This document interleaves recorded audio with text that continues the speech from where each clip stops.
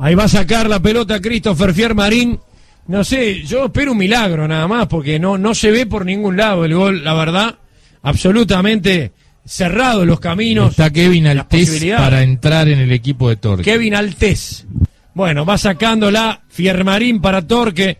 Fuerte remate a la mitad de la cancha. Pasa a los tres cuartos de terreno. Quitó Rack con golpe de cabeza. Otro de los que ha sido, creo que bastante sólido Rack hoy, ¿no? Creo que Rack y Sarabia, ahí está la cosa, ¿no? No, hoy Menose en el primer tiempo. En el segundo tiempo mejoró bastante. En realidad, si vos me preguntás quién es. Ojo, ojo, que se viene para Vicino gol. Se escapó para Vicino y gol. Bueno, estamos halagando el fondo. ¿eh? Y acá se escapó Torque con la pelota a los 43 minutos.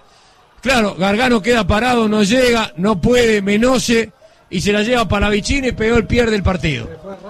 Arraca, Menose y Gargano que lo miraba al jugador. Gargano que no puede rayar. Por eso que no puede jugar Gargano.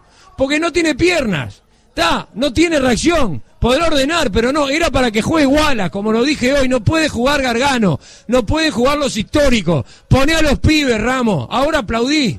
No hay lo que aplaudir, Ramos. No hay lo que aplaudir. Es una, es un- una, des- una desgracia esto. 43 minutos, Palavicino, el hombre de apellido lujoso, pone el partido 1 a 0 y bueno, lamentable, Peñarol pierde 1 a 0 en un, la- otra vez en un lateral, ¿no?